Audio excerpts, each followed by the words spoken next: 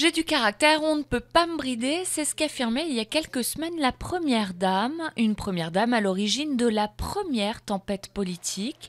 Mardi, Valérie Trierweiler n'a pas hésité à manifester son soutien au candidat dissident Olivier Falorni en Charente-Maritime.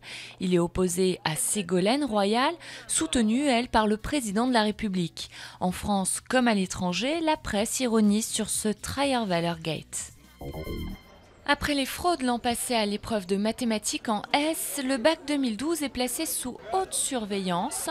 Entre la montre téléphone, le stylo téléphone ou encore les lunettes avec caméra intégrée, les tricheurs n'ont que l'embarras du choix.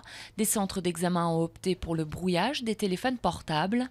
Les quelques 650 000 candidats scolarisés ont jusqu'à lundi pour réviser. C'est encore le meilleur moyen de réussir. La chef de l'opposition birmane Aung San Suu Kyi a entamé un voyage aux allures de tournée triomphale en Europe. L'icône birmane ira à Genève, en Grande-Bretagne, à Dublin avant de conclure sa tournée par Paris. Près de 200 hooligans ont été interpellés mardi soir après de violents accrochages avant le match Pologne-Russie. Une vingtaine de personnes ont été blessées. Le match déterminant pour la Pologne s'est terminé par un nul. On y verrait presque un décor de rêve. La baie de Rio, avec le pain de sucre en toile de fond, cache néanmoins sous ses eaux tranquilles une toute autre réalité. On y trouve des tonnes d'ordures et de liquides toxiques. La baie est devenue un dépotoir.